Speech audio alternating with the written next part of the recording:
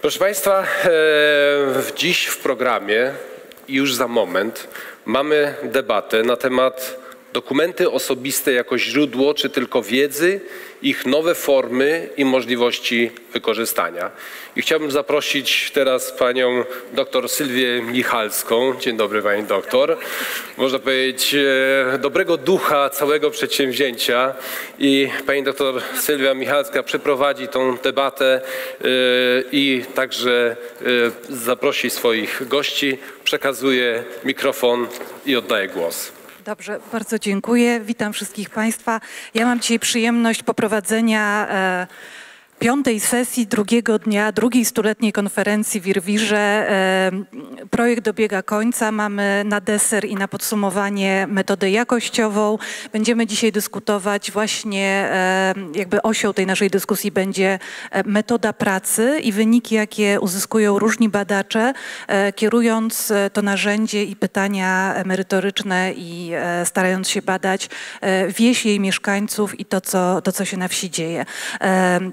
Udało nam się dzisiaj zebrać e, grono e, badaczy, które, którzy pracują tą, meto, tą metodą i e, mają w swoim doświadczeniu badanie, badanie mieszkańców wsi. Chciałabym zaprosić na scenę panią profesor Barbarę Fatygę, która kieruje Zakładem Socjologii, Nauki, Wiedzy i Kultury w Instytucie Stosowanych Nauk Społecznych Uniwersytetu Warszawskiego. Dobrze, ktoś musiał się pomylić, wypadło na mnie. Panią profesor Danutę Zalewską, która kieruje Katedrą Metod Badania Kultury na Uniwersytecie Wrocławskim. Ja się, dobra, wszystko pochrzaniłam, przepraszam. Zrobiłam sobie kilka dni wcześniej, przepraszam. E, Pan profesor Paweł Kubicki z Instytutu Gospodarstwa Społecznego, może na tym skończę, żeby się nie pomylić ze Szkoły Głównej Handlowej. I pan doktor Wojciech Doliński z Zakładu Socjologii Edukacji na Uniwersytecie Wrocławskim. Dobra, panów się udało bez wtopy, przepraszam panie bardzo. E, Proszę Państwa, mamy cztery referaty. Jeżeli uda nam się e, dotrzymać dyscypliny czasowej, będziemy mieli również czas na, e, czas na dyskusję. Jako pierwszy zaprezentuje nam wyniki swoich badań pan dr Wojciech Doliński. Referat nosi tytuł Wybrane problemy metody pamiętnikarskiej. Pamięć, refleksja, zapis. Oddaję panu głos. Tak. Y, Dzień dobry, nazywam się Wojciech Doliński. Y, Tam u góry jest y, tytuł mojego wystąpienia. Bardzo serdecznie dziękuję za, za zaproszenie. Żeby nie przedłużać, mamy szacowne grono, przejdę od razu do mojej prezentacji. Wstęp pani Michalskiej był bardzo trafny, z jednym małym wyjątkiem. Ja z pamiętnikami w pewnym momencie tylko się y, spotkałem. Y, Na co dzień pracuję w Instytucie Socjologii Uni- Uniwersytetu Wrocławskiego i zanim dojdę do, do tych trzech podstawowych pojęć, pamięć, refleksja, zapis, chciałbym Państwu tylko przedstawić, jak to się stało, że tym się zająłem. Badania pamiętnikarskie w Instytucie Socjologii mają swoją historię. Y, Profesor Zbigniew Kurcz w latach 90. badał y, Niemców w Polsce, Polaków w Niemczech. Później profesor Jerzy Żurko prowadził badania na Łemkach. No i tak się złożyło, że ja jako magistrant, potem doktorant profesora Kurcza zająłem się tą metodą pamiętnikarską i w 2012 roku e, udało się, znaczy opublikowałem książkę w Nomosie. Tam problem lokalności jest jednym z pięciu głównych e, problemów. E, I na tej podstawie zainteresowałem się dokumentami osobistymi i tutaj przygotowałem Państwu taki krótki wypis ym, programu, który skończyliśmy w zeszłym roku. Y, Były cztery konferencje dotyczące dokumentów osobistych w ramach y, problemu rzeczywistości kulturowej teksty pisane. Jak Państwo widzicie, od 2014 roku w Łodzi, przez Wrocław, Warszawę, aż po Rzeszów i Sanok.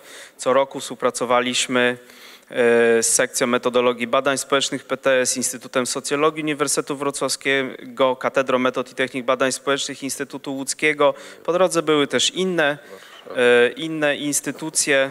E, Za dużo czasu by to zajęło, żeby to wymieniać. W każdym bądź razie e, na tej podstawie powstały takie e, publikacje.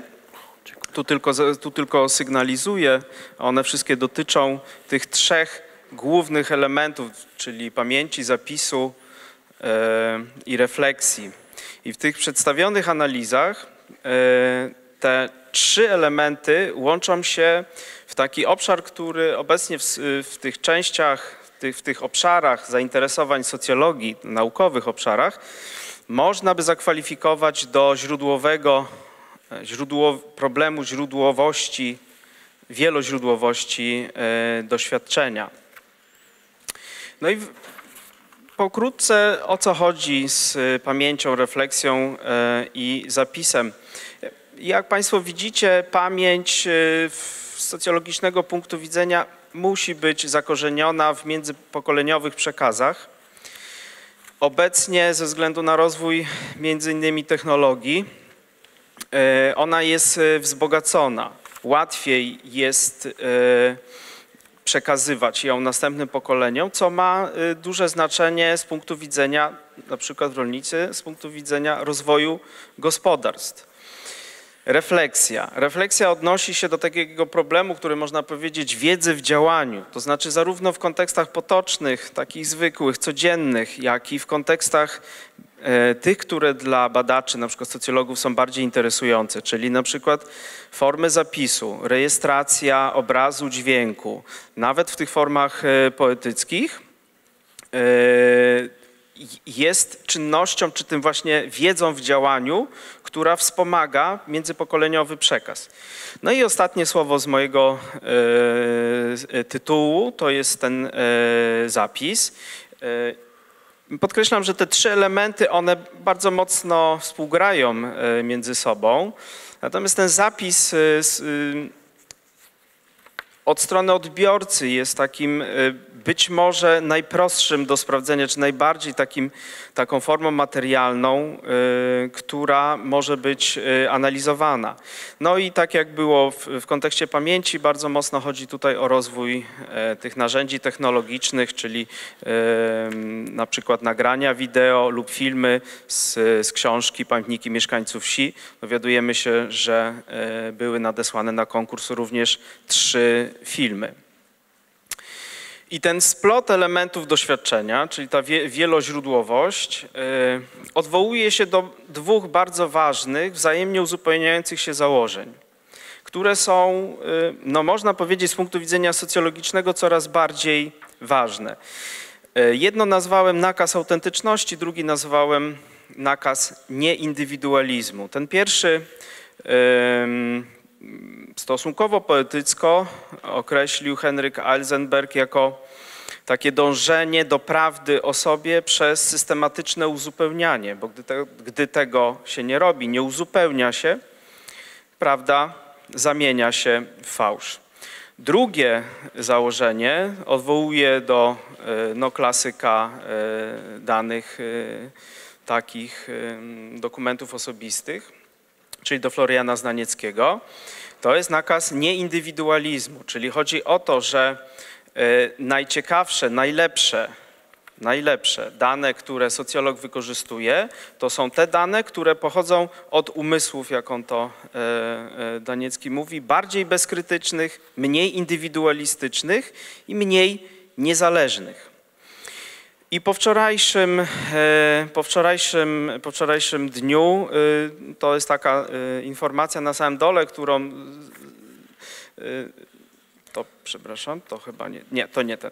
Czyli inaczej, czyli zakorzenienie w, w rodzinie i w lokalności zmusza do uaktualniania treści pamięci, pamięci międzypokoleniowej, czemu pomaga współczesny rozwój technik rejestracji doświadczenia.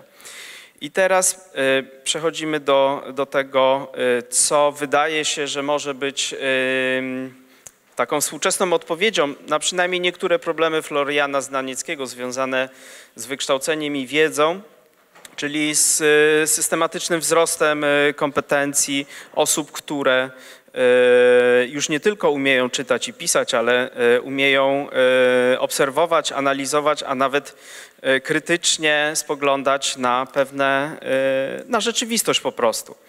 Tą współczesną odpowiedzią na niektóre problemy Floriana Znanickiego można by potraktować e, szeroki rozwój badań autoetnograficznych, w których doświadczający podmiot w kooperacji lub opozycji wobec wybranych grup społecznych, jak rodzina, przyjaciele, na przykład parafia, będzie poddawał swoje życie kompetentnej, refleksyjnej, długotrwałej, twórczej i wieloźródłowej analizie. E, I to jest ten element, który, o, o ważności którego zdałem sobie sprawę, e, słuchając wczoraj profesora Rocha Sulimy, który powiedział, jeśli dobrze oczywiście to zrozumiałem, że y, to, o czym piszemy, jest nieco mniej ważne od tego, jak piszemy. Czyli y, badania autoetnograficzne przez y, nawiązywanie do wielu źródeł doświadczenia otwierają to bardzo ciekawe pole badań różnego typu form zapisu. I te y, różne formy zapisu są y, zaprezentowane w, tej y, książce e, 100 lat mojego gospodarstwa, wspomniane, nadesłane filmy.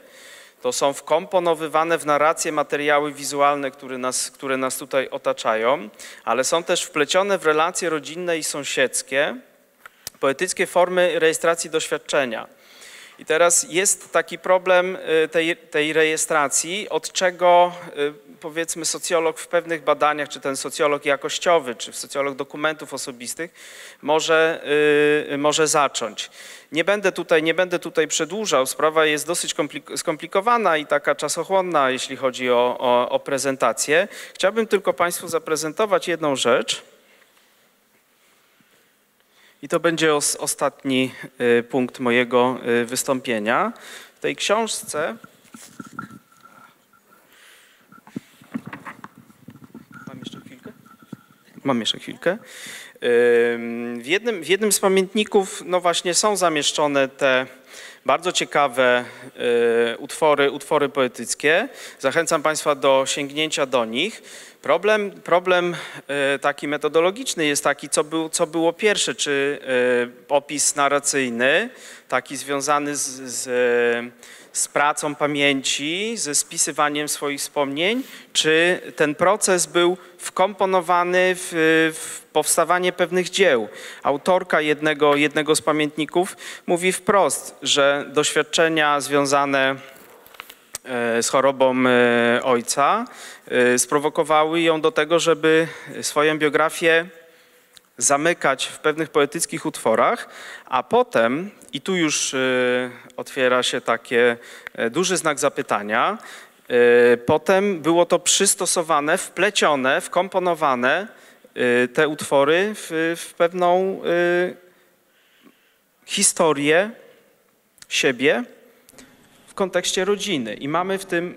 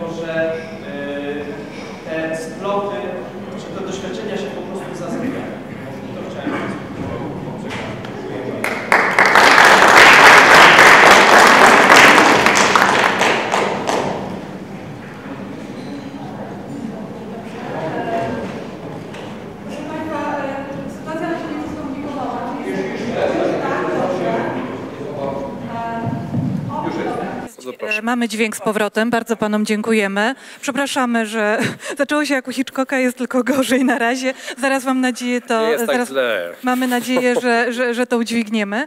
E, bardzo dziękuję za ten referat z atrakcjami. E, trochę pan uchylił tutaj naszym e, uczestnikom e, kuchnię tego, co się potem dzieje z ich pracami, kiedy my je już przejmujemy w swoje naukowe łapy i jak zaczynamy analizować i wykręcać na wszystkie strony nie tylko to, co autor napisał, ale jak to napisał, w jakiej kolejności ułożył pewne rzeczy, co mógł mieć na myśli, a czego nie planował, ale nam o sobie powiedział. E, tak, to później, e, tak to później wygląda, e, ale jakby ni, ni, nic złego się z tymi tekstami nie dzieje. Odzyskaliśmy dźwięk, więc ja natychmiast przekazuję głos drugiej naszej referentce, pani profesor Barbara Fatyga z Instytutu Stosowanych Nauk Społecznych, to wiem na pewno, już nie będę wchodziła w szczegóły. Pani profesor opowie nam o. z- On, on powinien działać. Awans i tradycja nie stoją w jednym domu. To jest tytuł, e, tytuł referatu pani profesor. Oddaję pani głos. E, e, Dzień dobry Państwu. Proszę Państwa, zanim powiem o, odniosę się do tego tytułu, to chcę powiedzieć, że moja refleksja jest refleksją mizantropiczno-estetyczną. E, a co więcej dwuwątkową. Najpierw chciałabym powiedzieć dwa słowa o badaniach dokumentów osobistych i biografii, a potem o awansie właśnie i tradycji. E, e, O, dlaczego ta mizantropia tu się pojawia? No, dzisiejszy mój głos nie jest głosem badacza tekstów, tylko antropologa współczesności. Antropologia w ogóle, przypomnę, wedle pięknego sformułowania Czesława Robotyckiego, jest sztuką grasowania po pograniczach. I dwa słowa czy trzy wprowadzenia muszę tutaj uczynić. E, Tymczasem e, e, w, dzisiejszych, w dzisiejszej nauce, w naukach społecznych również, im więcej się pisze o inter, trans czy multidyscyplinarności, tym rzadziej się ją praktykuje, zachowując zwłaszcza zasadę jawności warsztatu. E, W tej sprawie bardzo często, e, jak obserwuję, e, obowiązuje no, swoista mentalność Kalego. To znaczy, ja mogę grasować po cudzym terenie, ale wara innym od grasowania po moim. Prawda? Wielokrotnie z taką postawą się spotykałam, kiedy na przykład jedna znana bardzo bułgarystka i tłumaczka za, za, zapytała się, kiedy mówiłam o metaforach, mm, e, e, czy jestem filologiem, a jak się dowiedziała, że nie jestem, to powiedziała, to jakim prawem pani używa tego pojęcia. Prawda? E, Druga sprawa to jest stan krytyki naukowej, która de facto stała się promocją własnej instytucji, własnego małego środowiska w tej instytucji. E, I trzecia sprawa to jest e, bardzo podobne zjawisko, które dotyczy spółdzielni cytowań, swoistej maladie de można powiedzieć. E, e, e, No, jakie to rozmiary przybiera e, wśród młodych ludzi, to nawet już e, e, pominę milczeniem w tym momencie. E, Niemniej jednak mm, e, są to objawy bardzo niepokojące. E, W świetle tego, co tu dzisiaj na wstępie usłyszeliśmy, widać, że projekt, który Państwo zrealizowali, od tych niedoskonałości jest wolny, prawda? czy przynajmniej starał się być wolny. Więc e, e, proszę tego, co powiedziałam w tej chwili, nie traktować jako jakiegoś tutaj mało eleganckiej, że tak powiem, refleksji o gospodarzach. E, e, Teraz e, jeszcze motto, mianowicie odnoszące się do drugiego członu tego właśnie, tej mizantropiczno-estetycznej refleksji, mianowicie ono jest moje, a nie platońskie wbrew pozorom, brzydkiej duszy nie przeszkadza brzydkie otoczenie i vice versa. I do tych kwestii będę dalej nawiązywać. Teraz wrócę do pierwszej sprawy, mianowicie y, do refleksji o badaniach dokumentów osobistych i biografii. Otóż klasycznie rozumiane dokumenty osobiste, no takie jak właśnie pamiętnik czy dziennik, e, mm, również blog, prawda, internetowy osobisty, e, e, ale w szczególności myślę o pisanych tekstach, prawda, o pamiętnikach i dziennikach. No, niestety z bólem trzeba powiedzieć, że to są dość schyłkowe formy pisarstwa. Być może będą jakieś rewitalizacje w postaci mód napisanie na papierze, prawda, w stylu vintage, e, ale e, raczej nie należy się spodziewać, żeby przy obecnym rozwoju kultury e, to się utrzymało w takiej skali, w jakiej, w jakiej było. No, na poprzedniej konferencji w e, tym grancie e, e, e, mówiliśmy o tym, że e, no, Państwo bardzo się cieszyli. Tutaj dzisiaj Pan Prezes też o tym wspominał na początku, że właśnie na konkurs przyszło 50, a Państwo się spo- spodziewali pięciu tekstów. Ale proszę Państwa, e, konkurs, od którego ja zaczynałam swoją przygodę z pamiętnikarstwem, e, e, to był konkurs, na który napłynęło 1200 prac. Więc to jest skala e, w przeciągu tych lat, prawda? To był ko- konkurs, który dotyczył e, lat 80-81, bardzo trudnego okresu, o którym może z różnych powodów nie wszyscy chcieli pisać, a tych prac było aż tyle. Ja sama wtedy przeczytałam 700 tych tekstów, przygotowując się do e, zrobienia e, badań. Y, Więc, e, e, więc chyba nie ma co e, e, zakładać, że ta forma się utrzyma w takiej skali, w jakiej to było w przeszłości, kiedy mówiło się o Polsce jako o zagłębiu pamiętnikarskim wręcz, o pięknej tradycji y, bardzo wiele lat podtrzymywanej, właśnie wywodzącej się od wspominanego tutaj przez pana doktora Znanieckiego, jeśli chodzi o nasz kraj. E, Więc e, e, druga tutaj kwestia związana z samym sformułowaniem dokument osobisty jest związana z pewnym trendem obecnym w humanistyce i w naukach społecznych. Od lat no, mniej więcej 90. on nabiera mocy i znaczenia w dyskursie naukowym, a mianowicie chodzi o badania, o krytykę badań czy nawet czasami się mówi o schyłku, czy wieszczy się ten schyłek badań zo- zorientowanych antropocentrycznie. Prawda? Doku, e, dokument osobisty wskazuje na jak najbardziej antropocentryczną e, uwagę, prawda? E, e, którą badacz poświęca e, tekstowi. E, Proszę zauważyć, że e, samo, sam, samo pojęcie biografii, z greckiego wywodzące się od bios życie i grafo pisze, ono nie niesie tego e, skojarzenia, prawda? nie kieruje naszej uwagi bezpośrednio na człowieka. Tak, czyli przynajmniej tej antropocentrycznej perspektywy powiedzmy, że nie absolutyzuje. I teraz e, moja teza tutaj e, byłaby taka, że przy odpowiedniej metaforyzacji pojęcia, biografia może być lepszym narzędziem, nomen omen, e, badawczym w poznawaniu kultury, również kultury wsi, niż dokumenty osobiste. I teraz oczywiście trzeba by powiedzieć, jak ja tą biografię rozumiem. Otóż mój sposób rozumienia biografii w tym momencie zaczyna się rozjaśniać e, e, w opozycji do takiego nurtu właśnie, który jest związany z tym e, zwrotem ku rzeczom, a mianowicie obejmującego biografię rzeczy. To jest ogromna literatura już na ten temat. Dla mnie to nie jest dokładnie biografia rzeczy w takim rozumieniu jak na przykład u Kopytofa, u Latura czy u Olsona, Jonesa i tak dalej. E, nie jest to też, e, nie rozumiem też tego pojęcia w taki sposób, e, jak rozumieli to tradycyjni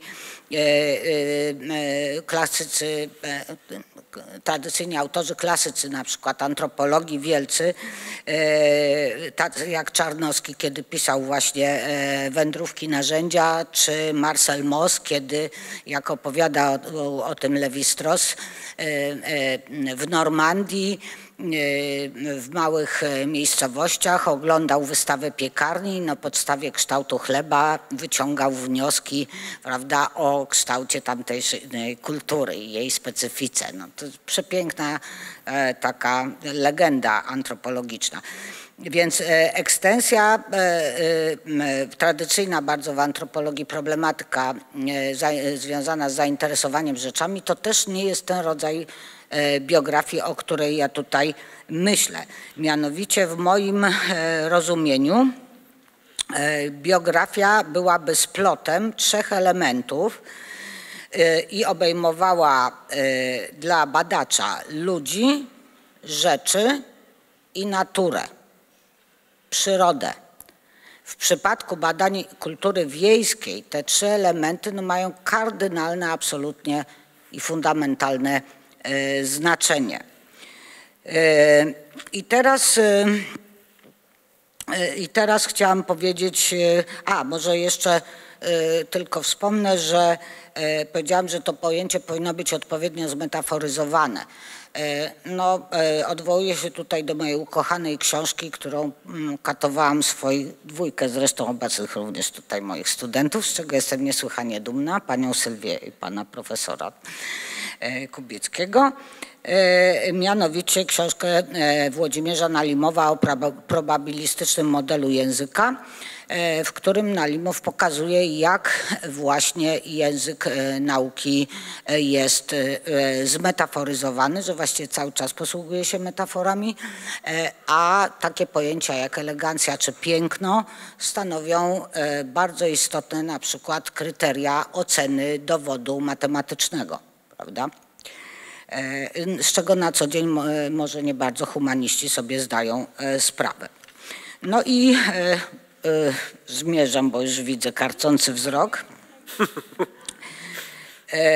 szybciutko dalej. Mianowicie no, taką autorką, która właśnie te, dużo uwagi w Polsce temu zwrotowi ku rzeczom poświęca jest, jak wiadomo, Ewa Domańska, która powiedziała o takich pięciu tendencjach, e, które są związane z tym, że właśnie badacze zaczynają się interesować nie tylko człowiekiem i jego działaniami, ale również właśnie tym, co się dzieje z przedmiotami. Prawda? Nie tylko jak one wyglądają, jakie tam funkcje pełnią, ale jak budują relacje z użytkownikiem. Nie wiem, czy Państwo czasami też może to przykład nie bardzo polityczny, e, przeklinają swój komputer. Ja to robię bardzo często, prawda, nawiązując z nim bardzo personalną więź.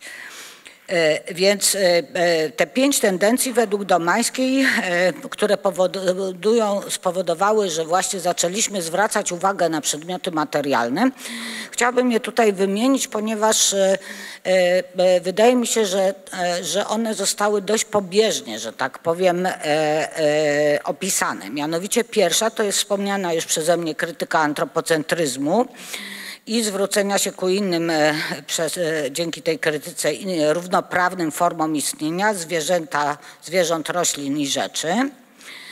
No dalej e, zmiana stosunku człowieka do relacji duch-materia. No ja bym powiedziała, że o duchach i to ja bym wolała chyba nie rozmawiać i wydaje mi się, że to jest, to przeciwstawienie jest bardzo już dzisiaj jałowe. Rozum, ciało, owszem, to jest temat do poważnej dyskusji, prawda? Bardzo poważnej. Natomiast o duchach i materii to chyba raczej wolałabym nie mówić e, więcej. E, Trzecia e, tendencja według Domańskiej to jest kryzys ludzkiej podmiotowości. Y, ale y, też może warto tutaj zwrócić uwagę, y, że zarazem ten kryzys nie jest skutkiem jakiegoś zamierania, co intuicyjnie jakby wiążemy sytuację kryzysu z czymś, że coś się rozpada, zamiera i tak dalej, tylko wręcz przeciwnie. Ten kryzys jest skutkiem niebywałej redundancji, prawda, niebywałej nadmiarowości E, tego, tego powiedziałabym wręcz szaleństwa podmiotowości, e, które przybrało bardzo dziwne w kulturze współczesnej e, formy. E, e, czwarta to, e, te, tendencja jest związana z wspierająca właśnie ten zwrot ku rzeczom. To jest krytyka społeczeństwa konsumpcyjnego według Domańskiej i znów chętnie bym tutaj dodała, że towarzyszy jednak temu, jako nie wiem, awers i rewers albo może jakieś stadium tego procesu, szaleństwo pragnienia. Tutaj w ogóle teorie potrzeb profesora Buchowskiego są, do których bardzo warto wrócić, moim zdaniem są kluczowe. Nawet macie Państwo w, no, nie wiem, kto robił reklamę Rossmana, prawda, o pragnieniach, ale to jest genialna reklama pod tym względem. Więc e, mamy szaleństwo pragnienia. No, ja je opisałam w takim tekście o stylach życia już parę lat temu, starając się prześledzić ciąg, co się dzieje od momentu, kiedy zapragniemy, e, czy to pragnienie właśnie, to mnie skierowało ku Bochowskiemu, czy pragnienie jest równe, równoważne z potrzebowaniem czegoś, prawda? I w końcu co się, jak można z tego wyprowadzić taki ciąg, e, metaforycznie mówiąc, życia przedmiotu. Wnioski były dość smutne, mianowicie e, my jesteśmy stymulowani do pragnień, a nie do posiadania, cieszenia się, użytkowania, naprawiania, przywiązywania się do rzeczy itd., tak itd. Tak, tak? Czyli budowania z nimi jakiejś właśnie e, takiej bardziej personalnej, powiedziałabym, laturowskiej relacji. Kultura współczesna, popularna, dominująca tego od nas nie chce, wręcz przeciwnie. Chce, żebyśmy tylko byli trawieni nieustannym głodem, właśnie nieustannym pragnieniem. Tak? E, jeden z, mój ulubiony przykład, jeden z celebrytów cudownych powiedział, że ma 50 par dżinsów w szafie. Panowie, można nosić naraz na miłość boską 50 par dżinsów?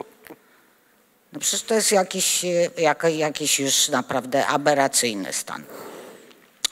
E, więc e, i piąta tendencja, e, no to jest bardzo poważna kwestia, którą tylko zamarkuję, bo to wymagałoby bardzo długiej teoretyczno-metodologicznej dyskusji e, z profesor Domańską. E, to jest, e, ona twierdzi, że zresztą jak wielu innych autorów w Polsce i za granicą, że mm, na ten zwrot ku rzeczom miał także wpływ odwrót od, uwaga, konstruktywizmu, tekstualizmu i tęsknota za tym, co rzeczywiste w sensie osadzone w materialności. No na miłość boską, jak się potem sprawdza, w jaki sposób ci wszyscy, którzy mówią takie rzeczy, próbują się dobrać do materii, do rzeczywistości kulturalnej, to się okazuje, że nic poza językiem i kategoriami, nawet kiedy prowadzą obserwacje, nie mają, bo ta obserwacja musi zostać też zwerbalizowana. Więc e, co więcej, e, e, i rzeczony konstruktywizm i tekstualizm wydają mi się od bardzo dawna pojęciami dość podejrzanymi. Ja bym wolała używać tradycyjnych pojęć, na których zostałam wychowana. Może to oznaka starzenia się już. Mianowicie strukturalizm i paradygmat interpretatywny, a w szczególności jego tęsknota za odkrywaniem podstaw interakcji. Moim zdaniem to zupełnie wystarczy. E, czy paradygmat semiotyczny. A to nie, e, e, no i ten wątek niestety muszę zostawić. I teraz, żeby już tą reszteczkę czasu, tak, O, dobrze, no to jakoś nawet mi się udało, dziękuję bardzo. Teraz właśnie chcę powiedzieć o tym awansie i tradycji. No, e, e, dość często w dyskursie o polskiej wsi właśnie mówi się o tym, e, że jak to w przeciągu owych stu lat następował właśnie awans cywilizacyjny i społeczny. Prawda? Jest sporo badań na ten temat i tak dalej jakby w osobnym wątku prowadzone, zwłaszcza przez antropologów i etnografów, może rzadziej przez socjologów, e, są badania tradycji. Etnografowie mają zresztą specyficzny bardzo pogląd na to, mianowicie oni uwielbiają, kiedy ta tradycja jest nienaruszalna, jest taką muchą zaklętą w bursztynie, prawda? Właściwie tradycje e, to należy, e, czy można tylko replikować ona jest czymś nieruchomym, prawda? No my wiemy od, od, y, ch- chociażby już od, y, pomijając nasz zdrowy rozsądek, ale Hobsbawm i Ranger napisali o tym wspaniałą książkę, pokazując jak tradycje każde pokolenie wynajduje. Jest na to masę też dowodów empirycznych, prawda? Znam cudowne przykłady z Podhala, którymi chętnie bym Państwa zabawiła, ale pewnie już nie mam na to y, czasu. Więc Proszę zauważyć, że z kolei połączenie problematyki awansu społecznego i, mm, e, i e, e, cywilizacyjnego nie jest łączone w refleksji badaczy wsi za często właśnie z problematyką tradycji w takim rozumieniu i bada, w takim rozumieniu, w jakim badają ją etnografowie czy antropologowie. E, I teraz z tego jakby też punktu widzenia i z tego, co ja tutaj proponuję jako pewną alternatywę metodologiczną, czyli właśnie przy takim rozumieniu biografii jako splotu tych trzech, e, e, trzech elementów ludzi, rzeczy i natury, zalecenia Kopytowa czy Latura można traktować jedynie jako inspirację, a nie jako recepturę, według której można wytrzaskać, że tak powiem, kolejne badania. E, e, Druga rzecz e, jeszcze, no ja się bardzo e, jestem zadowolona, że mogłam wczoraj być na tej sesji poświęconej kulturze e, e, i wysłuchać e, e, wczorajszych tych e, referatów. E, e, nie- Niestety nie mogłam zostać na dyskusji, natomiast e, jedna rzecz mnie tam uderzyła, oprócz wielu cennych e, uwag, które sobie pozapisywałam, mianowicie, że nie była tam w tych referatach właściwie uwzględniana perspektywa regionalna. A ona jest niesłychanie ważna.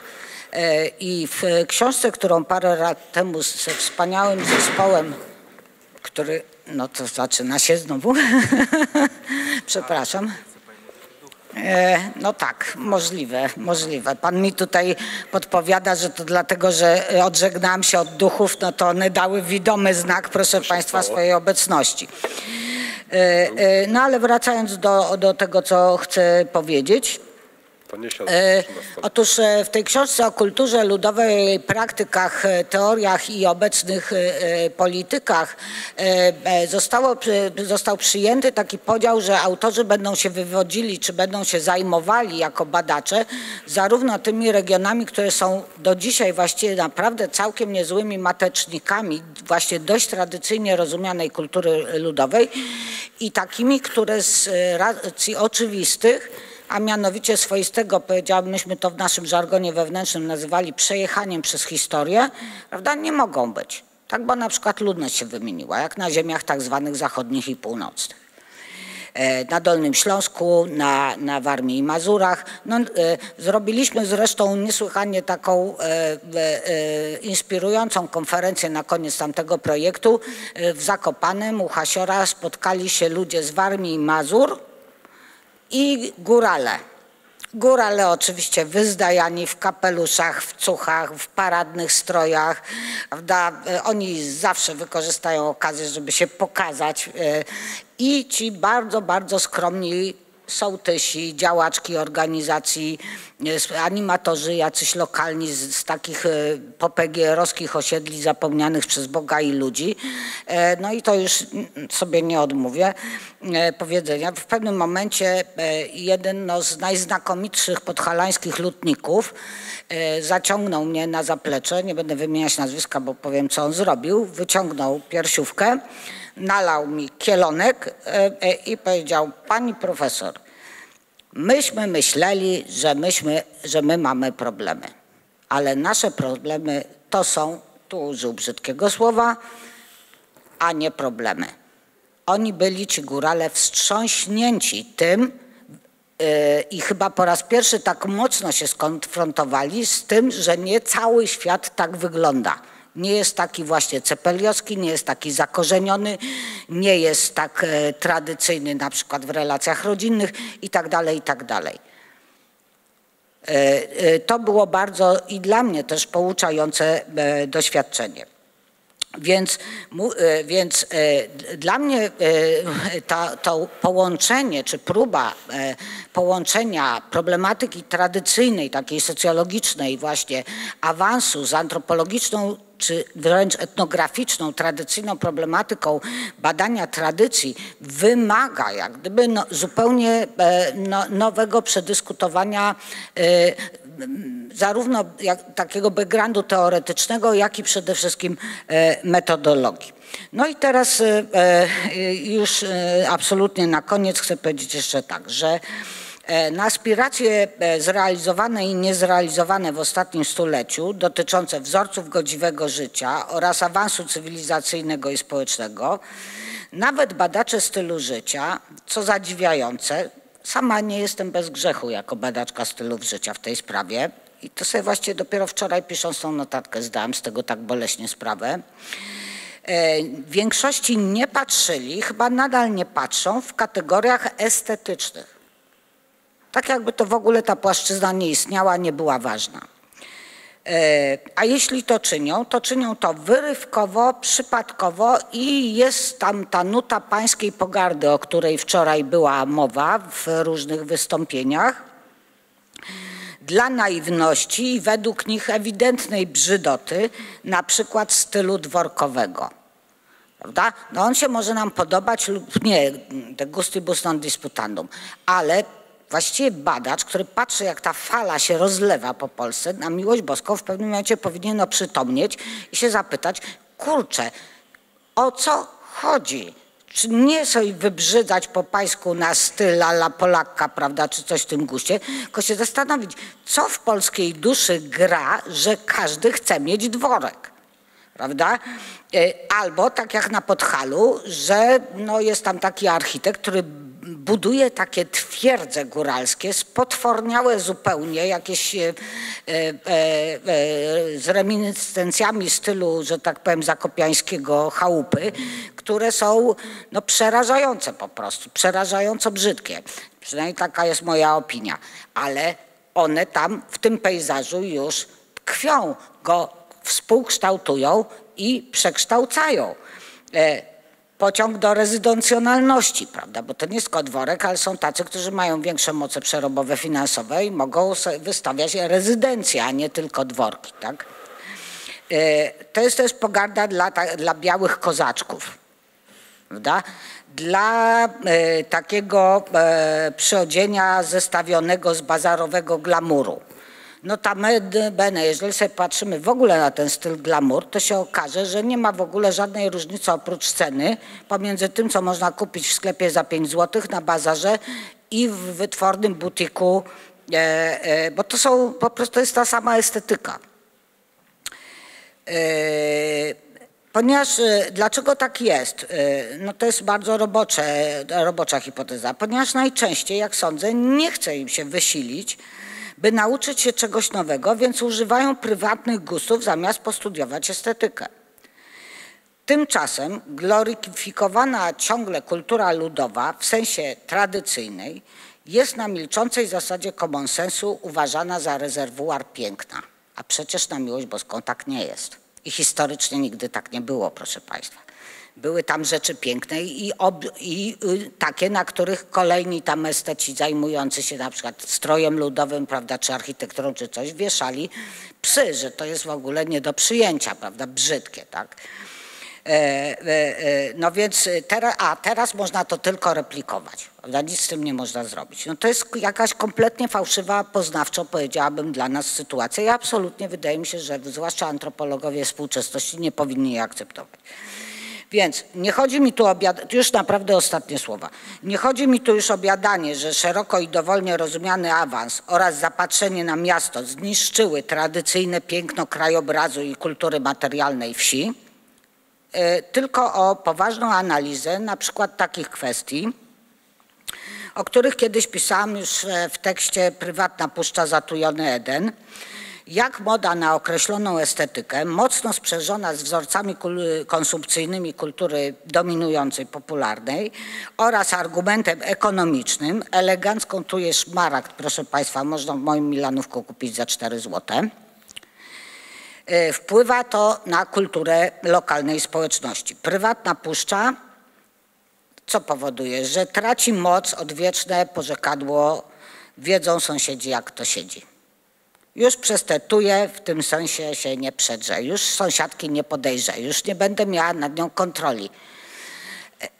To jest jedna rzecz, a więc przekształcany jest system kontroli społecznej dzięki tym tujom nieszczęsnym i zatujaniu, że tak powiem, tych swoich prywatnych edenów. E, Badacz ma bardzo trudne, żeby tam zajrzeć w ogóle za te tuje i zobaczyć, zostać tam wpuszczonym i co w tym Edenie prywatnym się dzieje. To, to nam utrudni pracę też, proszę Państwa, taką badawczą, terenową. E, No ale też e, przekształca to, proszę zauważyć, na przykład relacje sąsiedzkie. O tuje się nie oprzesz, żeby pogadać. Tak, a o płot się mogłeś oprzeć. Proszę zauważyć, że to, temu zatujaniu towarzyszy likwidacja na wsi tych ławeczek, które przed domami były, na których starsi ludzie siedzieli i obserwowali, co się dzieje, tak? I pilnowali ładu. Yy, na, i, yy, I konkretnie, dlaczego potężna potrzeba posiadania miejskiej łazienki, kafelków, lata 70. To po, i 80. po prostu to był taki nacisk na to, że trzeba mieć nowoczesną łazienkę, trzeba mieć kafelki, tak jak w mieście. E, Zwy, e, też e, trzeba mieć salon albo otwartą, prawda, przestrzeń, tak, e, e, S-Space mianowicie z otwartą kuchnią, wyspą i salonem i w nowoczesnej kuchni już też trzeba było mieć kafelki zwykle okropnie brzydkie. Okropnie brzydkie. E, Wiąże się to z kolei też z wyrzucaniem mebli i utensyliów. I co jest, proszę zauważyć, paradoksalne, i to proszę potraktować jako tak, e, e, znaczy e, dla mnie przynajmniej to jest inspiracja i pomysł na myślenie, jak to dalej robić, trochę inaczej niż do tej pory że te rzeczy, które wyrzucają się na wsi, to potem w magazynach wnętrzarskich wszystkie panie, które mają tam prezentowane rustykalne domy, tak zwane w mieście albo na przedmieściach, to one się chwalą tym, że one właśnie ocaliły gdzieś z jakiejś piwnicy, z jakiegoś śmietnika, z jakiejś stodoły, prawda, starą szafę, stary kredens. Nie, No ja y, nie jestem bez grzechu, bo u mnie nad oknem w kuchni wisi wałek porcelanowy, prawda, XIX-wieczny, który y, ktoś tam właśnie wyrzucił. Na- Znalazłam go na śmietniku po prostu na wsi, tak. Y, y, Więc y, to wyrzucanie y, w celu modernizacji i unowocześniania wiąże się z tym, że rustykalnie nastawione mieszczuchy zbierają te rzeczy e, i e, to one są depozytariuszami, proszę zauważyć. Jak tak dalej pójdzie, to, one będą, to oni będą depozytariuszami prawdziwej kultury ludowej, bo oni te artefakty materialne po prostu przechowają. E, A wieś będzie miała laboratoryjne kuchnie zgodnie z najnowszą modą, z liściami aloesu czy czegoś tam, co tam akurat flamingiem różowym i czymś, co jeszcze będzie modne. E, I teraz e, już ostatnia taka, chciałabym nawrócić do antropocentryzmu. To jest ostatnie zdanie już. E, W latach wczesnych 90. e, e, dla Fundacji Jacka Kuronia i wtedy Fundacji powstawał program, który potem się rozwinął w ogromną sieć ogólnopolską banków żywności. Robiliśmy takie badanie w ramach programu Farelien ja ze swoimi studentami. Mianowicie powstała z tego książka Dzielimy się tym, co mamy gdzie e, były badane dzieci wiejskie i to ze szkół podstawowych, które brały udział w tym programie. Prawda? Zaworek ziemniaków to był genialny pomysł. Zaworek ziemniaków, który e, chłop ofiarował e, fundacji, która to dystrybuowała do miast, do szpitali, do przytułków, do, dla bezdomnych i tak dalej, do hospicjów i tak dalej, różne przysłowiowy worek, to mógł być nie ziemniak, tylko buraki, na przykład kopa jajek czy coś tam. Dziecko miało organizowaną przez fundację wycieczkę, jechało do dużego miasta i czasami pierwszy raz w życiu widziało w ogóle właśnie to miasto. I teraz myśmy pytali tych dzieci, e, no bo to było badanie ewaluacyjne i diagnostyczne dla tego projektu, co one by chciały w mieście zobaczyć. I proszę Państwa, ciekaw jestem, czy Państwo zgadniecie, co te dzieci nam odpowiedziały. Co odpowiadały najczęściej? E, zobaczyć, jak inne dzieci tam żyją i z nimi porozmawiać. Dziękuję bardzo.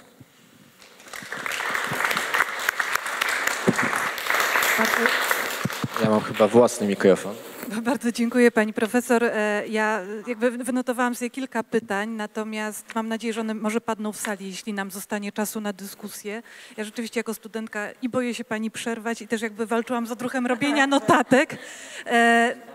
Ale chociaż może o te tradycje konstruowane na Podhalu padnie pytanie z sali, bo jestem ich bardzo ciekawa. E, Nie przedłużając, na razie oddaję głos panu profesorowi Kubickiemu z Instytutu Gospodarstwa Społecznego, który w przyszłym roku obchodzi stulecie, e, Tak. więc myślę, że ma, ma pan du- dużo do powiedzenia, co robiliście do tej Dużo do powiedzenia, ale będę mówił krótko.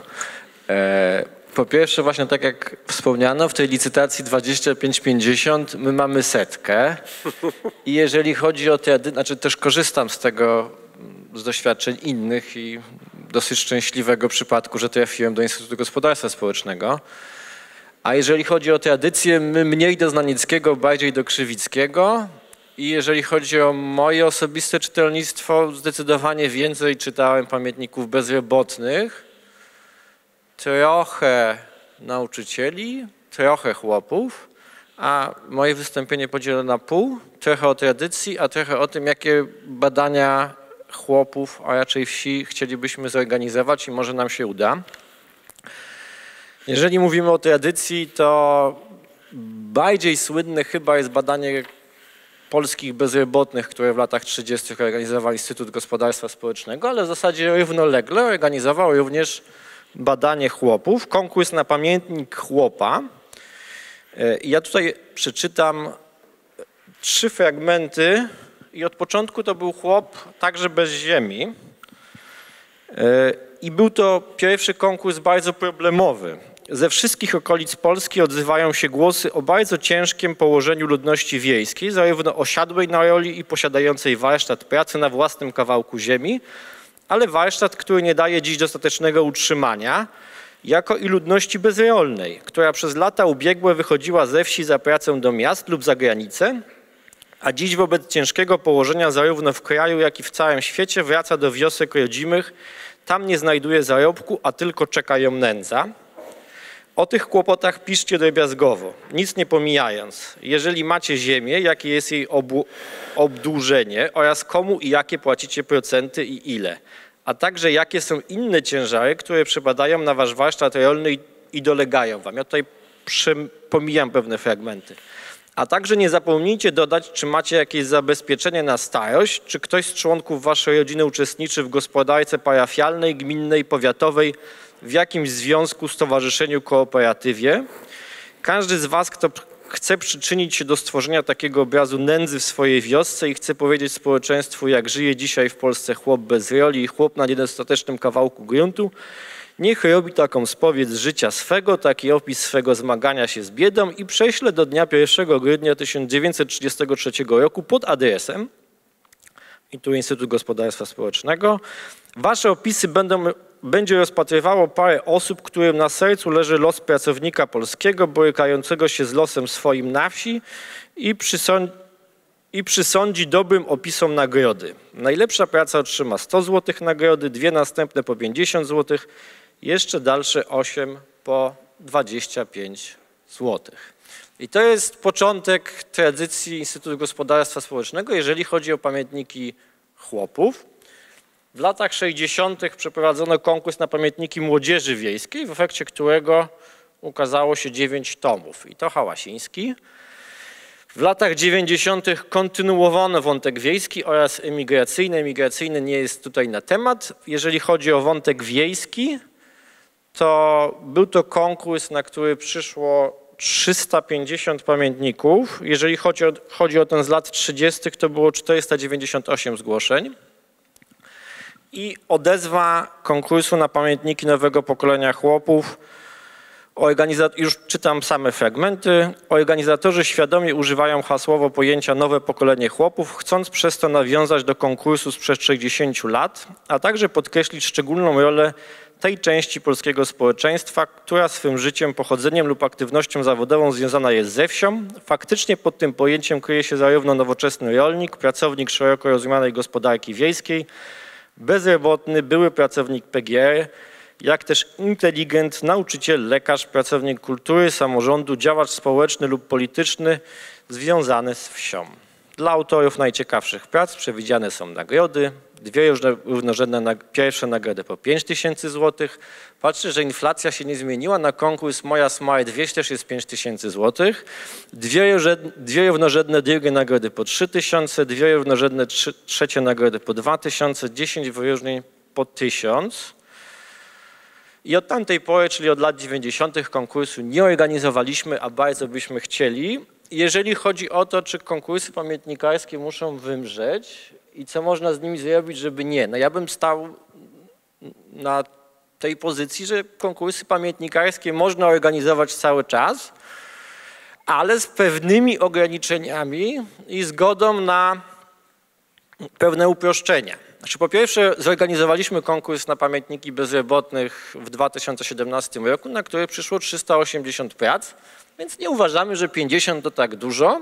Chcielibyśmy, gdybyśmy organizowali konkurs nowy, 500 plus pamiętników, bo 500 plus dobrze się kojarzy. Ale jakie są ograniczenia, jakie są nasze doświadczenia pamiętnikarskie? Po pierwsze, musimy się pogodzić z tym, że większość pamiętników jest pisanych na konkurs. Nie są to dzienniki i pamiętniki wyciągane z szaf, tylko pisane na konkurs. I w pełni to akceptujemy. Po drugie, jako badacze jesteśmy tu mniej istotni. Bardziej istotne jest to, żebyśmy opublikowali i tu niestety patrzymy na siebie z żalem. Nie publikujemy wszystkiego, co dostajemy i to jest bardzo duże nasze przewinienie i zaległość.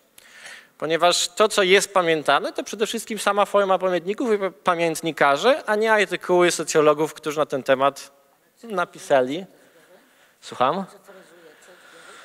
Ten nowy chcemy cyfryzować, natomiast większość naszych zbiorów w latach 90. okresu transformacji utopiła się pod Warszawą razem z połową zbiorów pamiętnikarskich, czy nawet większością zbiorów pamiętników polskich. Więc niestety nie do odzyskania, a te wcześniejsze z lat 30. zostały zniszczone w okresie wojennym. W związku z tym te, które zostały opublikowane, ocalały, te, które nie zostały opublikowane, no niestety przepadły. To, co jest istotne bardzo, to odezwy konkursowe. Te odezwy kształtują trochę to, co ludzie napiszą. Im bardziej szczegółowe, tym bardziej wpływamy na to, co ludzie mają myśleć i jak o tym piszą. Im bardziej ogólne, tym różne dostajemy odpowiedzi, tym więcej jest braków danych, które nas interesują, ale tym bardziej mamy ten obraz tego, co chciał napisać pamiętnikarz. Co byśmy chcieli? Jeżeli sobie wyobrażamy nowy współczesny konkurs na pamiętniki, to raczej nie na pamiętniki chłopów, tylko na pamiętniki mieszkańców wsi. I gdybyśmy mieli podzielić to faktycznie jedną piątą tych ludzi, którzy by byli zaznaczeni w odezwie, byliby ci, którzy prowadzą gospodarstwo rolne.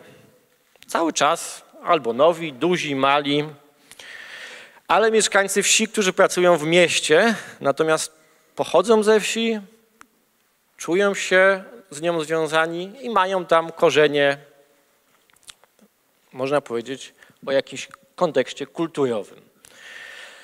Mieszkańcy wsi, ale z miasta. Ci, którzy niedawno tam się sprowadzili i odnajdują się w swojej wiejskości. Lepiej lub gorzej. Byli mieszkańcy PGR-ów, bo to cały czas jest temat, do którego warto powrócić, jak sobie poradzili.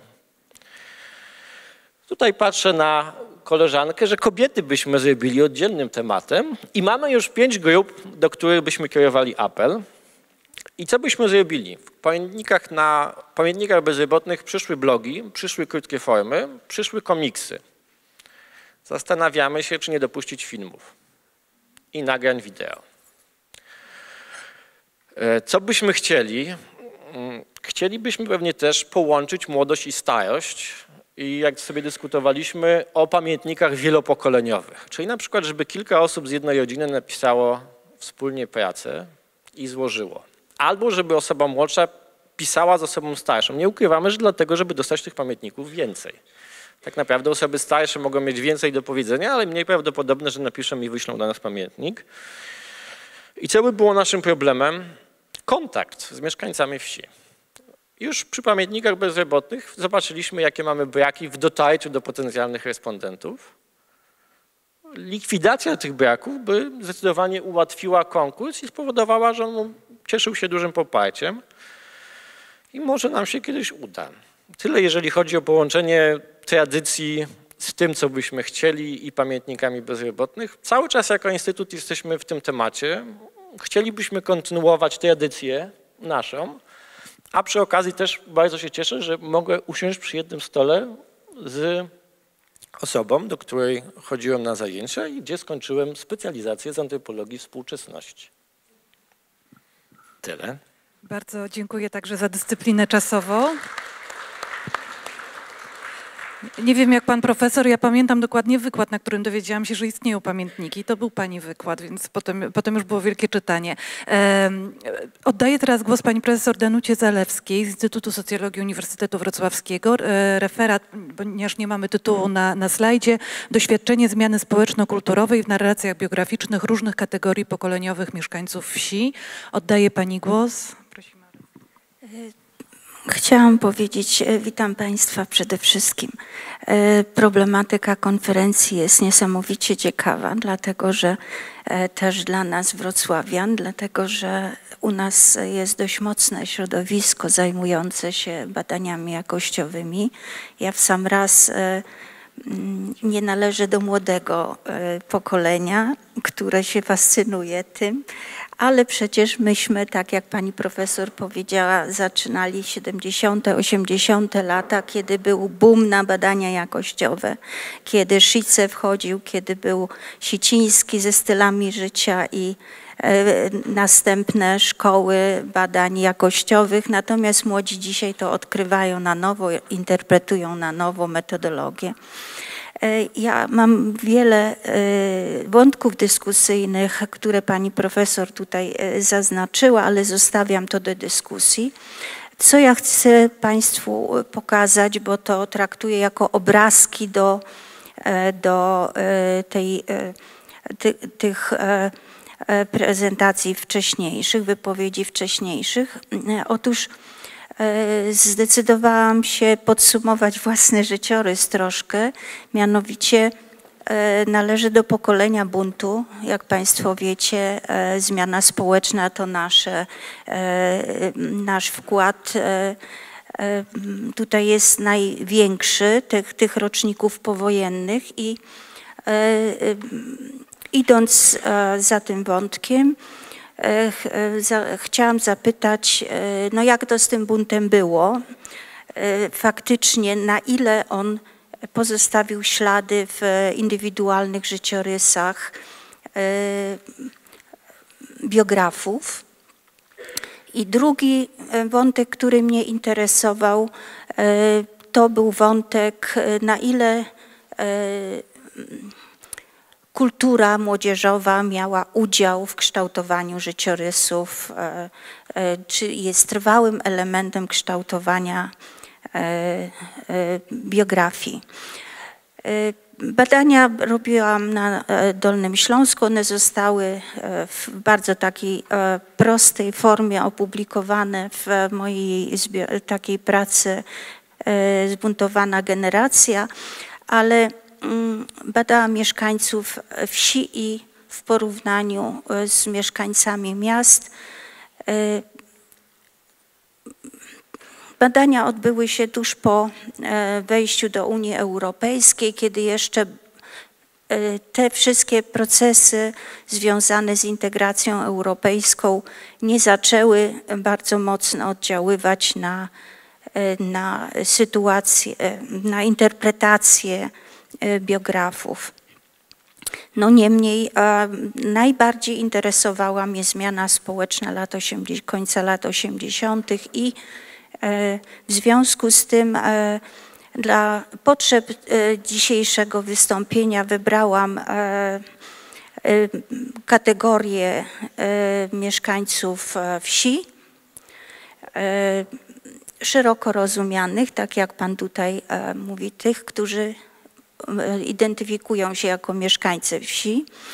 E, Były to roczniki po II wojnie światowej. Szukałam, e, to znaczy szukałam, były to osoby, które w chwili badania miały minimum 35 lat, a więc e, były to osoby już z na tyle bogatym doświadczeniem życiowym, że można było analizować, jakie procesy pokazują oni w, w opowiadaniu życia.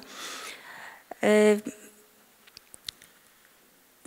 Interesowała mnie rzeczywistość z pozycji jednostki uwikłanej e, w podstawowe sprawy życia, śmierci, rodziny, pracy i e, no, nie chciałam opisywać, e, robić głębokich analiz językowych czy semiotycznych, tylko po prostu e, próbowałam czytać e, ich wypowiedzi, e, tak jak one były prezentowane przez biografów. Starałam się odczytać procesy i czy, czynniki, które kształtowały pokoleniowość i poczucie pokoleniowości. E, Czy uczestnicy badań e, mieli poczucie tego, że byli tym pokoleniem, nie wiem, kultury młodzieżowej, buntu, e, który przyniósł zmianę społeczną. Posługiwałam się wywiadem narracyjnym Szicego e, w takiej formule bardzo prostej, podstawowej jeszcze e, z początku jego kariery. Przypominam tylko, że jest to e, niemiecki metodolog, e, który, e, który e, znalazł klucz do analiz e, biografii poprzez e, wywiad narracyjny, a więc kiedy nie ma pamiętnika, e, tylko wywołujemy opowiadanie życia poprzez wywiad. Dla Państwa, którzy e, jako dodatkowa informacja, którzy nie są zainteresowani głęboko metodologią. Y, Kategorie wiekowe uporządkowałam e, w taki sposób, żeby uchwycić pewne elementy również historyczne. I teraz e, będę prezentowała to, te e, z grubsza wyniki badań w taki sposób, że będą to pierwsze mężczyźni w porównaniu kobiety z danej kategorii wiekowej. Nie będę przywoływała szerszego tła e, historycznego, bo e, chcę pokazać, jak ta historia w ich życiu się e, rozgrywała, czy jak ją interpretowali. Jeżeli chodzi o najstarszą kategorię wiekową, e, to jest kategoria 45-51.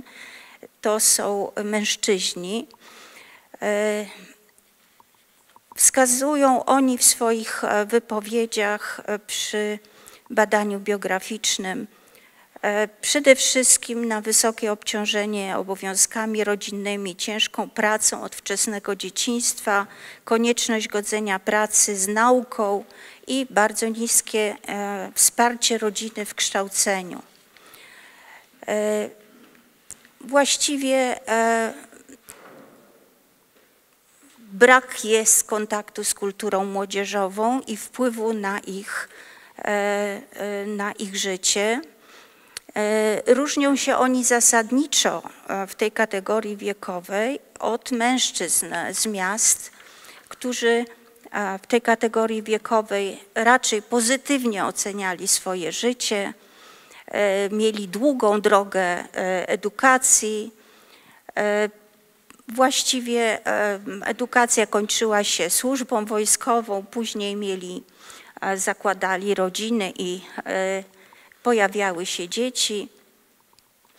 E, Roczniki te były e, w mieście, byli, były zaangażowane e, w, po różnych stronach konfliktu w zmianę społeczną, a więc byli albo w armii, albo w policji i ZOMO, albo byli po prostu strajkującymi, ale tylko w strukturach organizacyjnych pojedyncze osoby uczestniczyły i nie miały, nie miał ten fakt żadnego znaczenia dla ich życiorysu, żadnych konsekwencji.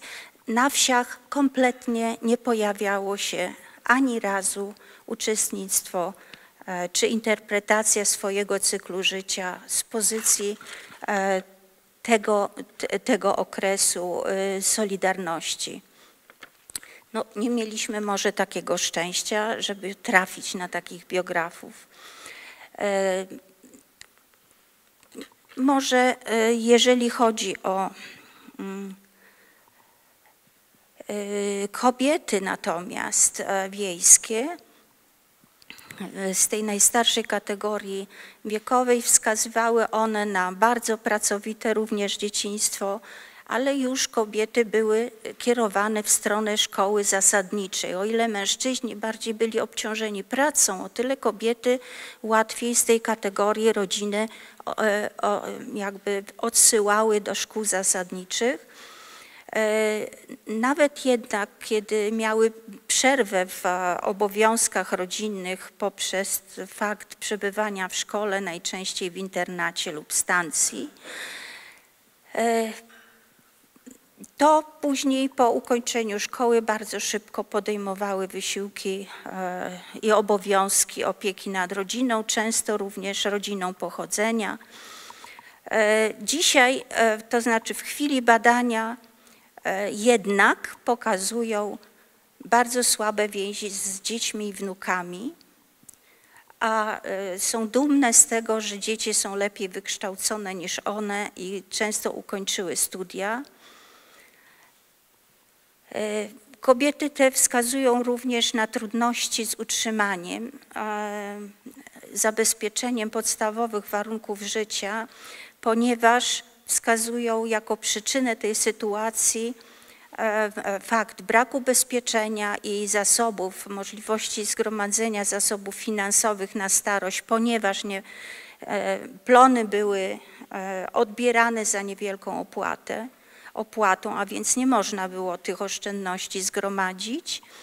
E, Rolnicy indywidualni nie byli ubezpieczeni, a gdy pojawiała się, pojawiał się jakiś wypadek czy choroba długotrwała, co jest e, czymś normalnym na wsi, ponieważ jest to bardzo urazowy zawód rolnika, e, to po prostu rodzina faktycznie miała bardzo trudną sytuację finansową. W zasadzie dzisiaj w chwili badania skupiają się te kobiety tylko i wyłącznie na zdrowiu e, i e, e, jeżeli chodzi o ocenę zmiany społecznej, jest to ocena bardzo ambiwalentna. Uważają one, że dobre jest zaopatrzenie, ale stosunki międzyludzkie bardzo złe. Ponieważ mam mało czasu i e, może pokrótce powiem o e, w związku z tym o takich tendencjach, które dadzą się w, w tych e, biografiach e, odczytać.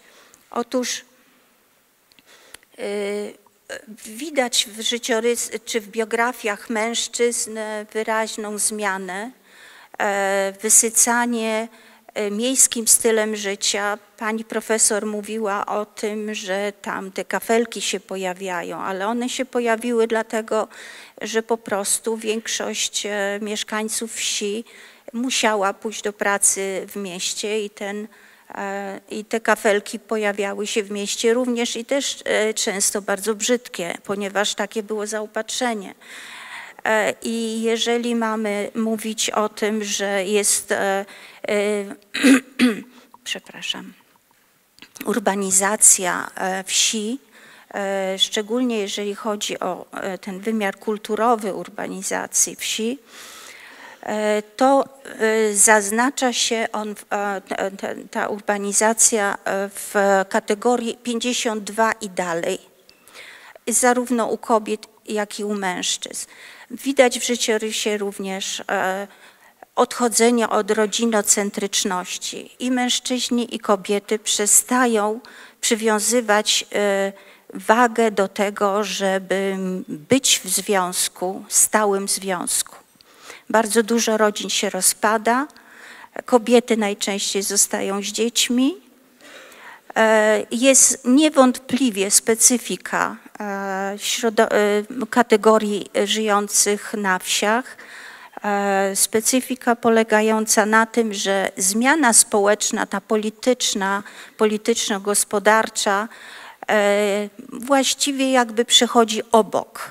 Ona jest e, interpretowana najwyżej w kategoriach no, trudności e, w zaopatrzeniu, bezrobocia okresowego, E, I wśród mężczyzn szczególnie dramatyczne skutki tej zmiany są widoczne, mianowicie najmłodsza kategoria wiekowa wskazuje na taką tymczasowość, takie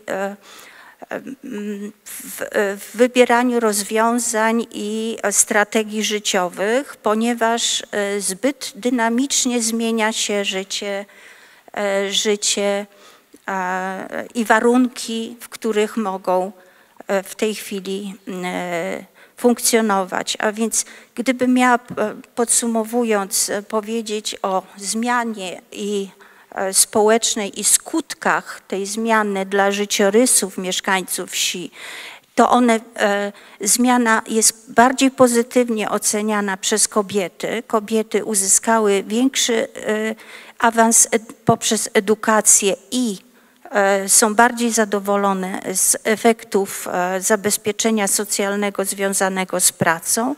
Natomiast jeżeli chodzi o poczucie bezpieczeństwa, e, i poczucie stabilności e, w, w dalszym życiu e, i jakimś, jakichś perspektyw, e, to u mężczyzn wy, wy, wygląda to bardzo dramatycznie. Także mężczyźni są jakby ofiarami zmiany systemowej, natomiast kobiety są tutaj e, tymi wygranymi, chociaż niewątpliwie, jeżeli chodzi o struktury rodzinne i w jednym i w drugim przypadku one uległy degradacji. Dziękuję.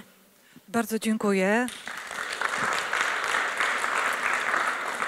Bardzo wszystkich Państwa przepraszam za te karteczki przysyłane w trakcie, w trakcie wystąpień. No niestety taki obowiązek e, prowadzącego. E, Bardzo dziękuję za wszystkie referaty. Nie, nie mamy czasu, e, żeby odnieść się teraz do, do, do nich pojedynczo, natomiast chciałabym podsumować ogólnie i zwrócić Państwa uwagę na to, że mamy jedną metodę. Otrzymujemy większą lub mniejszą liczbę tekstów opisujących Państwa biografię, czy historię gospodarstwa, czy to jakby jak zadane jest pytanie i, i taki materiał otrzymujemy. I potem na podstawie materiałów e, zdobytych tą samą metodą tak naprawdę możemy realizować bardzo różne analizy i stawiać pytania o bardzo różne rzeczy, o style życia, o historię przedmiotów, o em, losy ludzkie w obliczu różnych wydarzeń życiowych, takich jak na przykład e, utrata pracy.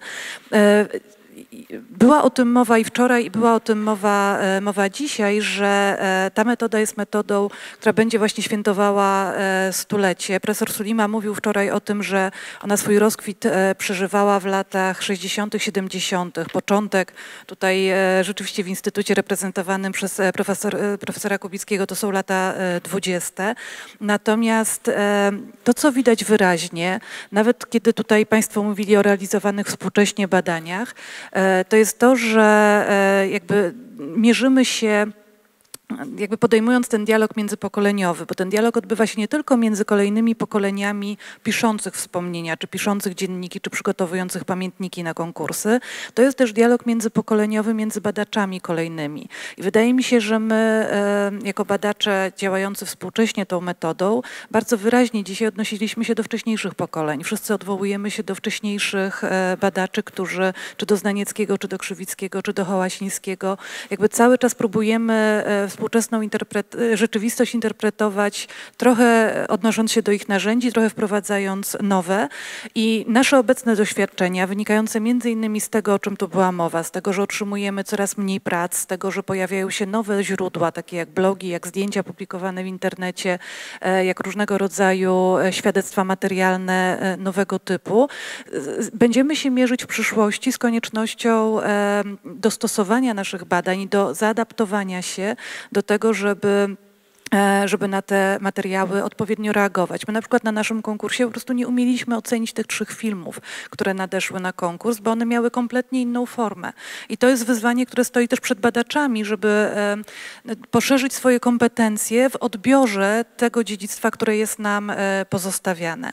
E, Dla mnie też bardzo interesujące były te odezwy, które Pan przytaczał, bo e, jakby też stoi przed nami zadanie takiego zadawania pytań, żeby nie e, otrzymywać e, odpowiedzi, czy takich, które piszącemu wydaje się, że my chcemy usłyszeć i, i chodzi nam o to, żeby jak najszerszy materiał zebrać, ale z kolei nie, e, nie e, żeby potem się go dało jakoś usystematyzować. To są wszystko wyzwania, które są przed nami. Mam nadzieję, że może uda nam się wymienić naszymi pomysłami na to. Natomiast zanim jakby tutaj ewentualnie w, w tym kierunku puszczę mikrofon, to chciałabym zapytać, czy może ktoś z Państwa na sali miałby pytania do naszych prelegentów i chciałby o jakieś bardziej szczegółowe rzeczy dopytać.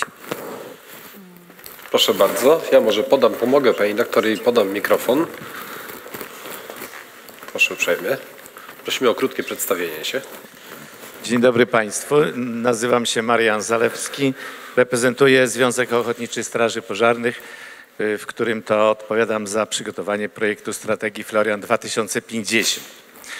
I po pierwsze Pani Dyrektor, Pani Przewodnicząca, chciałem podziękować za zaproszenie i wykorzystać to, by zaprosić Państwa, świat nauki zwłaszcza, do spojrzenia w tę tradycję ku przyszłości.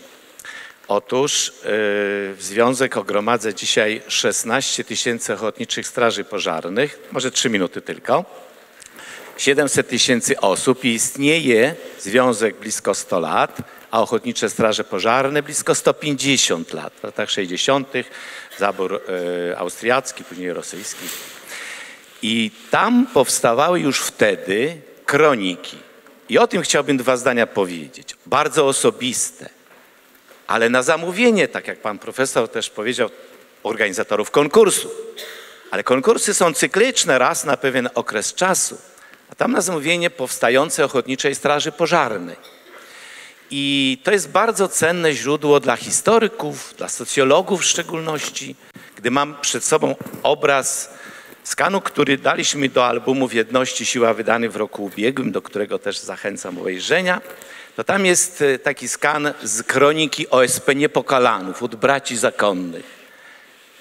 1 września 1939 rok, pisane ręką zakonnika, kaligraficzny styl. Jest wojna i cała strona poświęcona opisowi. I gdy słyszałem świetne wypowiedzi odnoszące się do metodologii prac, do pewnych założeń, do, do zagadnień stricte czysto naukowego podejścia, mam świadomość, że jest to wielka kopalnia nieodkryta, a nie wypowiedziana w słowie.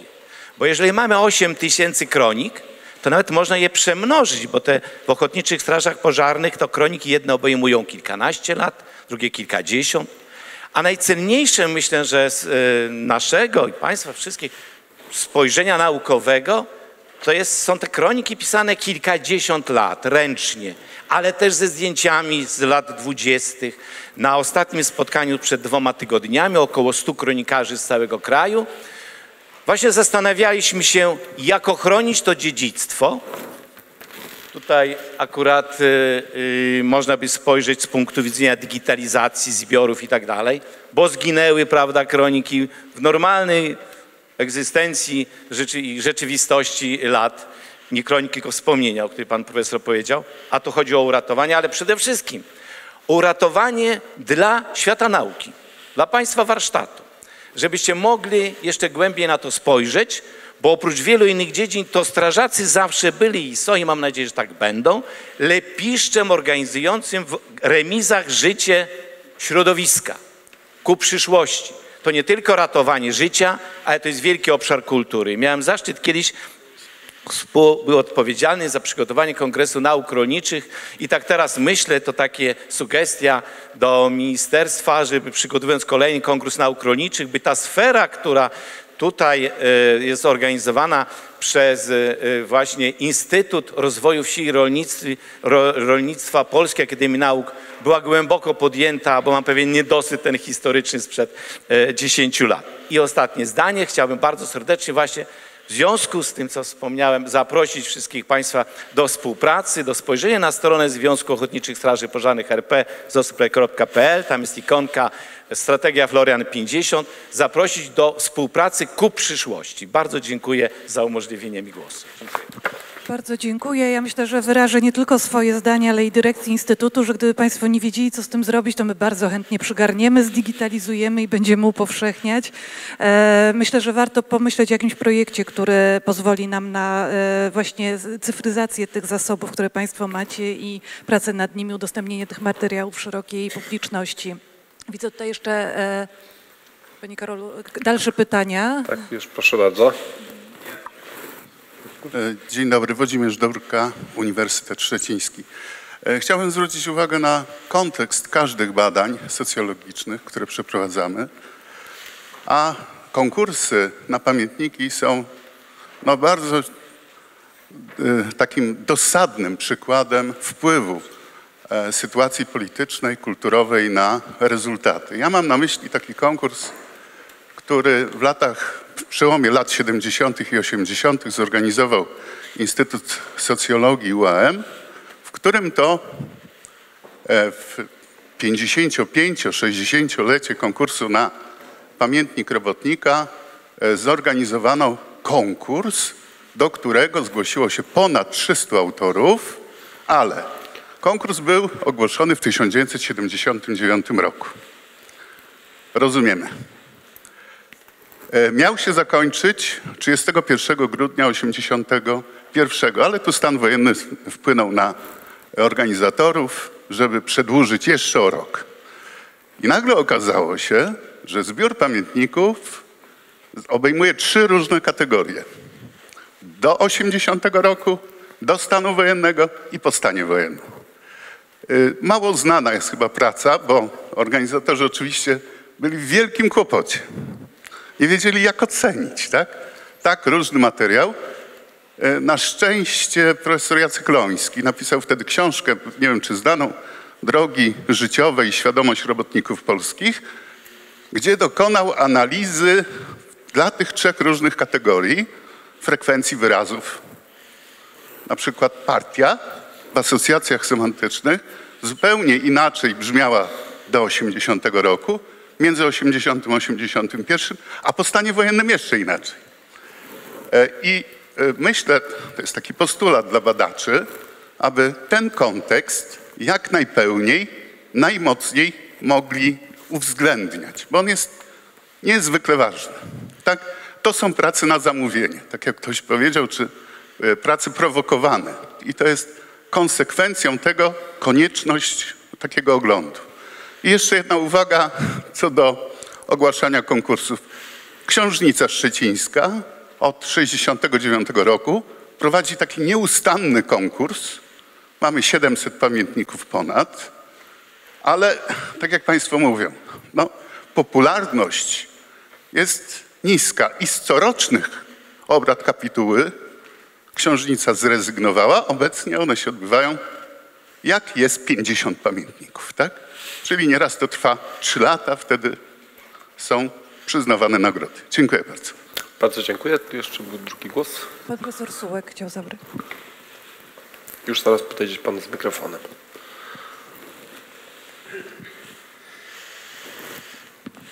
Sułek moje nazwisko. Y, No ja nie mam pytań, y, ale mam dwie glosy krótkie. Y, Jedna to jest taka, że pamiętniki y, konkursowe czy konkursy pamiętnikarskie to jest też pewna forma e, aktywizmu społecznego. I te pamiętniki przedwojenne to były ważne socjologicznie i społecznie e, właśnie dlatego pamiętniki bezrobotnych to była najgłośniejsza książka społeczna w Polsce międzywojennej. To się przecież kilkadziesiąt recenzji z tego ukazało. Podobnie pamiętniki chłopów. To były ważne bardzo wydarzenia. I y, no, y, nawet trochę może nie doceniamy tego. Wkrótce się ukaże taka książka y, pani Kate Libow z Oxfordu, y, Sociology as Complaint, socjologia jako skarga, która zawiera no, analizę tego ruchu pamiętnikarskiego w Polsce jako ruchu protestu społecznego, a może delikatniej powiedzieć walki o prawa społeczne. To było coś niebywałego. No i y, sięgając do tradycji tamtych, no, warto jednak pamiętać, że obecnie mamy bardziej bogaty repertuar y, y, skarżenia się społecznego i żaden konkurs pamiętnikarski takiego efektu społecznego nie będzie miał, czego dowodem jest to, że żaden konkurs po wojnie już takiego konkursu nie miał, takiego efektu nie miał, a najlepiej to widać przez porównanie młodego pokolenia chłopów Chaosińskiego z 1938 roku oraz tego nowego pokolenia Polski Ludowej. To ktoś to określił elegancko jako imitację. E, Druga rzecz to jest taka, że no, e, pan e, profesor Kubicki tak mówił o swoich planach, no ale no, pewien, z pewnym takim niepokojem słuchałem tego, chociaż nie, nie za duże jest to słowo, że on mówił o planach gromadzenia materiału. No, to nie polega y, przecież na gromadzeniu materiałów, podobnie tylko, podobnie jak badania socjologiczne polegają na zbieraniu danych ankietowych, a statystyczne na gromadzeniu statystyk, tylko, tylko na y, pisaniu czegoś i analizie. No jak ciekawe mogą być y, wyniki badań ankie- takich pamiętnikarskich, to z referatu pani profesor Zalewskiej z Wrocławia moglibyśmy się dowiedzieć, więc chciałem pani tylko uczulić na to, że to nie wystarczy zbierać i gromadzić i nawet publikować tego, bo nawet publikowanie książkowe to nie jest konieczne. No, obecnie jest znacznie są tańsze formy uprzystępnienia tego. Ważne jest, żeby na podstawie tych dokumentów y, y, pisać, y, pisać książki. Pisać książki, no jeśli chodzi o te przedwojenne, słynne badania bezrobotnych, to przecież właściwie poza zbiorem pamiętników bezrobotnych 71, no to żadna praca naukowa z tych się nie ukazała. Poza jednym, poza jednym no, artykułem e, Zawadzkiego i Lazarsfelda, wydrukowany w amerykańskim czasopiśmie, który jest klasykiem socjologii bezrobocia do tej pory. Ale gdyby ten, nie ukazała się ta analiza naukowa tego zbioru, nikt by, by poza Polską o tym nie wiedział i znaczenie ich dla socjologii ogólnej byłoby e, bardzo ograniczone, więc no ja zachęcam e, Państwa do e, pisania tego, ponieważ łatwo jest zbierać, e, ale dzisiaj jest również łatwiej analizować zbiory pamiętników, ponieważ po pierwsze można przetwarzać teksty łatwo, a po wtóre są bardzo rozwinięte przecież analizy tekstów i dyskursu i wydobywania z tego no, innych warstw znaczących niż treści. Bo jak się tylko wyniki publikuje, to, no to się te takie treści y, wyraźne, dosłowne ich chwyta. A jak się analizuje, no to wtedy można y, y, kierować się tą zasadą, o której przypomniał pan Doliński Sulimy, profesora, że często więcej dowiadujemy się z tego, jak, to, jak coś jest pisane, niż z tego, y, co jest pisane. Dziękuję. E, Bardzo dziękuję. E, Ponieważ nie było tak de facto pytań do, do e, raczej głosów w dyskusji, to ja na zakończenie chciałabym poprosić, tutaj miałam głosy z, za stołu, że chcieliby Państwo odnieść się do, czy, czy podsumować jakąś dyskusję. Będę teraz już bardzo też prosiła o wsparcie, że, o dys, dyscyplinę czasową. Może zaczniemy od drugiej strony. Jeśli pani profesor Zalewska chciałaby jakoś odnieść się do uwag czy podsumować, to, to teraz jest właściwy moment. Bardzo proszę. Ja mam niestety kilka stron tych uwag i teraz jest problem, Czas się skończył. co wybrać, tak? E, To znaczy, chyba się odniosę do tego, co pan profesor powiedział, że mamy dzisiaj możliwości bardzo głębokiej analizy. E, Proszę Państwa, większość e, tych analiz językowych jest robiona automatycznie, tak, przez programy liczące. Są to jakby słowa zamieniane, czy, czy liczone są e, według klucza matematycznego. Pytanie jest, czy kultura wysokiego kontekstu, jaka jest kultura, jaką jest kultura polska i język kontekstu, czy na pewno powinniśmy aż tak głęboko analizować e, tę stronę językową. Ja wiem, że to jest bardzo ciekawy temat dla badacza, ale ja pamiętam jeszcze e, moment, kiedy zakazywano interpretacji głębokiej tekstu, ponieważ w metodologii jakościowej ponieważ uważano, że mamy prawo tylko do generalizacji pierwszego stopnia, a więc no, co nam powiedział respondent, to musi, mogliśmy najwyżej e, e, no tak zgrubnie uogólnić. Dzisiaj robi się semiotyk, e, właściwie nie mamy granicy między analizą językową, e, wprowadzamy analizę ję- języka, semiotyczną analizę e, i i jest w porządku. Ja e, akceptuję tę szkołę pod warunkiem, że zdajemy sobie sprawę, że to już jest interdyscyplinarne podejście i że respektujemy albo szukamy reguł interdyscyplinarności w tej interpretacji, tak? A nie mówimy, jesteśmy socjologami i tylko szukamy tego, tych zjawisk e, społeczno-kulturowych, interpretacji zjawisk społeczno-kulturowych, ponieważ wydaje mi się, że idziemy głębiej. Oczywiście tutaj e, można mieć różne podejścia. Ja niestety mam e, troszkę kryty, znaczy boję się, że rob, e, tworzymy e, świat, o tak powiem. Dziękuję. Dziękuję. Ja bardzo krótko. Bardzo krótko. W najnowszym numerze, czyli czwartym studiów socjologicznych, będzie pierwszy tekst z tych nowych pamiętników bezrobotnych.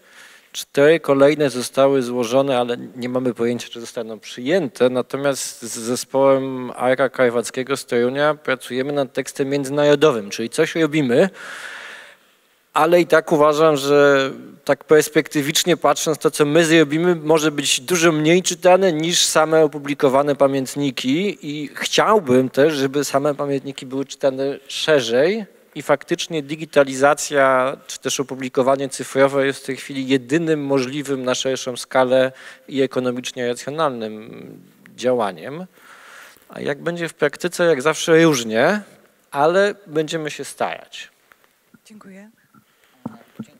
E, No, ja też oczywiście, e, znaczy tu w ogóle jest początek bardzo interesującej polemiki, która się nie odbędzie najprawdopodobniej albo odbędzie się w kuluarach. Mianowicie e, pierwsza rzecz, no ja bym się chętnie dowiedziała, jaka jest podstawa, że tak powiem ilościowa, czyli ile pani tych relacji, tych narracji zebrała. Po drugie, skąd ci badani byli, z jakiego regionu?